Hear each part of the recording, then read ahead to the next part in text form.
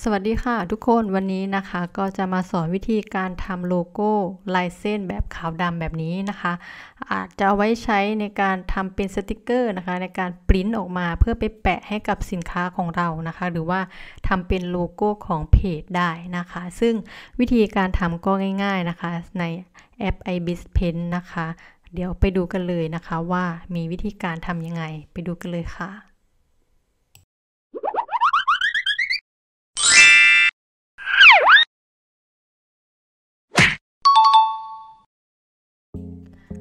ค่ะ เมื่อเราเข้ามาที่แอป ibis pen นะคะ เราก็มาคลิกที่แกลเลอรี่ของฉันนะคะ จากนั้นก็กดที่เครื่องหมายบวกนะคะ เราจะเลือกเป็น 3,000คูณ3,000นะคะ เพราะว่าจะทำให้โลโก้ของเรามีความละเอียดมากขึ้นนะคะ เพราะว่าเราไม่ได้ใช้หลาย layer นะคะ เป็นการทำโลโก้แบบง่ายนะคะ สามารถเลือกที่ละเอียดได้นะคะ แอปก็จะไม่ช้าจนเกินไปนะคะโอเค เมื่อเราเข้ามาแล้วนะคะ มันก็จะได้หน้าตาแบบนี้เหมือนเดิมนะคะ จากนั้นนะคะ เดี๋ยวเรากดเพิ่ม layer ไว้รอเลยสักสองสาม layer นะคะเลือก layer ที่ 1 ให้มันเป็นแถบสีฟ้านะคะ จากนั้นนะคะก็มาที่แปรงสีนะคะ แล้วก็เลือกเป็นปากกา marker นะคะ ก็จะมีเดี๋ยวจะพาทำแบบปากกา marker แบบแข็งดูนะคะ ว่าใครที่ชอบแบบนี้นะคะ ก็เข้ามาที่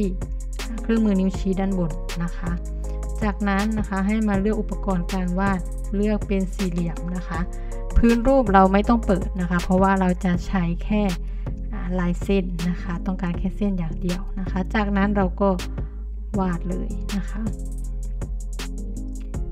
ลักษณะเส้นที่เกิดจากปากกา marker แบบแข็งเนี่ยมันก็จะเป็นเส้นตรงที่มันเท่ากันแบบนี้นะคะ ใครที่ชอบ ขอบที่เป็นแบบนี้ก็สามารถเลือกปากกา marker แบบแข็งได้นะคะสำหรับขนาดของหัวแปรงก็สามารถปรับเลื่อนได้นะคะโอเค เดี๋ยวจะพาทำอีกหัวแปลงหนึ่งนะคะ ซึ่งลักษณะก็จะแตกต่างกันนะคะ ก็คือปลายจะแหลมกว่านี้นะคะ ก็เข้ามาที่หัวแปลงแล้วก็มาที่พื้นฐานนะคะ เราจะเลือกเป็นปากกาหัวจุ่มแบบแข็งนะคะ ลักษณะปลายของมันทั้งสองข้างเนี่ยมันก็จะแหลมๆแบบนี้นะคะ เมื่อเราเลือกเลือกแปรงเสร็จเรียบร้อยแล้วนะคะ เราก็มาเลือกที่นิ้วชี้เหมือนเดิม อุปกรณ์การวาดแล้วก็เป็นสี่เหลี่ยมนะคะ พื้นรูปไม่ต้องเปิดนะคะสำหรับขนาดเราก็สามารถปรับเลือกได้นะแล้วก็มาวาดเหมือนเดิมนะคะ ให้มันเป็นสี่เหลี่ยมลักษณะเส้นของปากกาตัวนี้นะคะ หัวจุ่มตัวเนี้ยปลายมันจะแหลมนะคะ มันก็จะมีดูมิติอีกแบบหนึ่งนะคะ ใครที่ชอบ ก็สามารถเลือกได้นะคะ เดี๋ยววันนี้ก็จะเลือกเป็นปากกาหัวจุ่มแบบแข็งนะคะ โอเคเมื่อเราได้ขอบของโลโก้ของเราแล้วนะคะ เราก็มา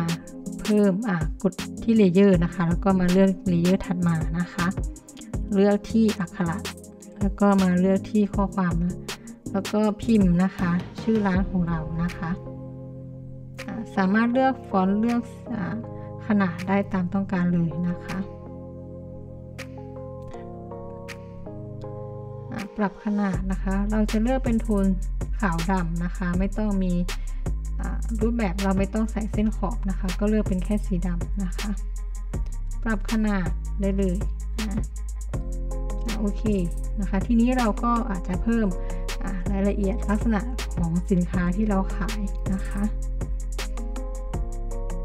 ก็เพิ่มเข้าไปเลย ปรับขนาดนะคะ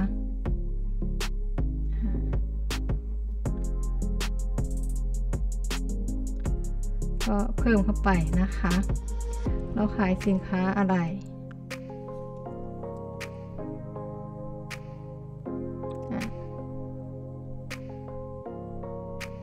นี่ก็จะประมาณนี้นะคะก็สามารถปรับได้นะคะ ถ้าใหญ่เกินไปนะคะ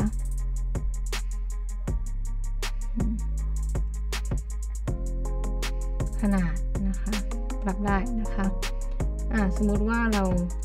โอเคเรียบร้อยแล้วนะคะ เราอาจจะมาเพิ่มขอบคุณนะคะสำหรับลูกค้านะคะ เป็นภาษาไทยหรือภาษาอังกฤษก็ได้นะคะ แล้วแต่ที่ชอบเลยนะคะ ปรับขนาดได้นะก็จะประมาณนี้นะคะทีนี้เราจะ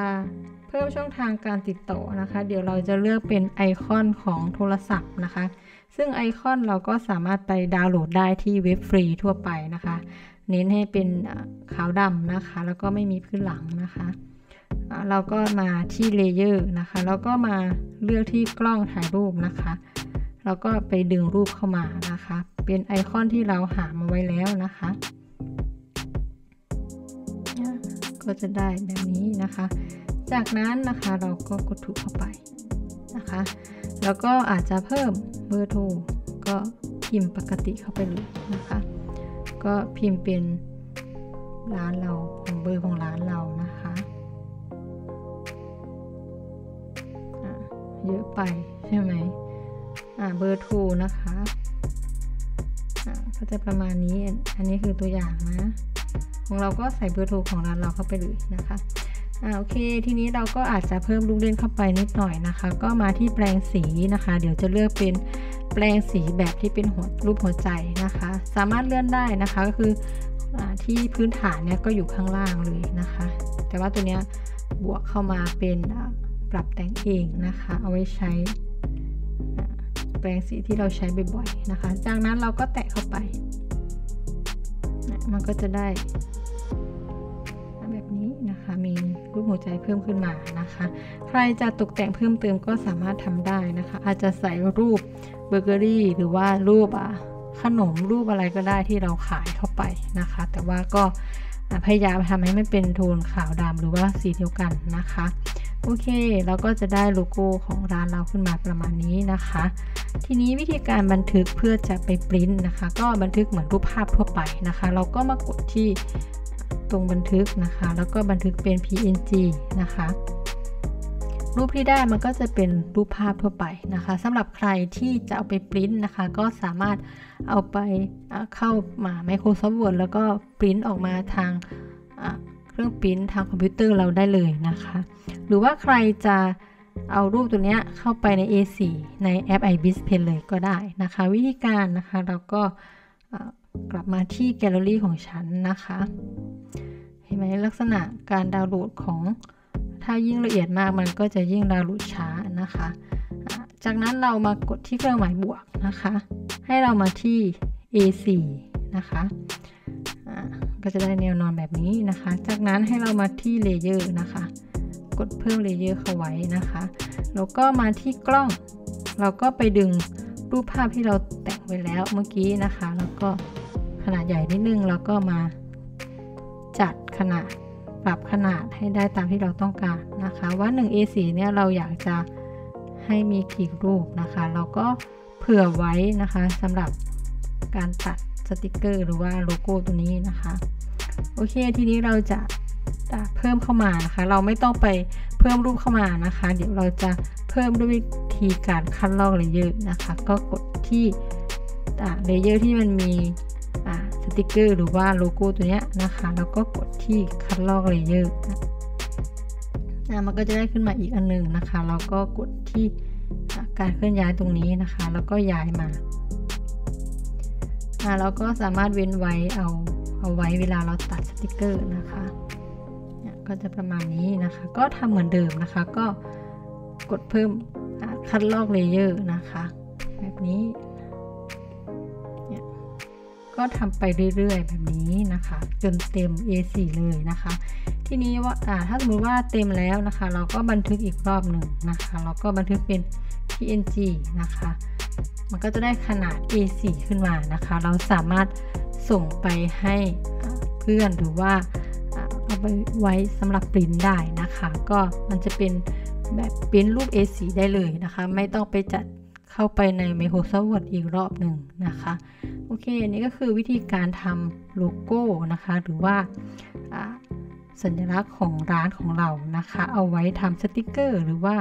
ทำเป็นโลโก้ของเพจก็ได้นะคะ แบบลายเส้นขาวดำนะคะ โอเค คลิปนี้ก็มีแค่นี้นะคะ เดี๋ยวเจอกันใหม่คลิปหน้านะคะ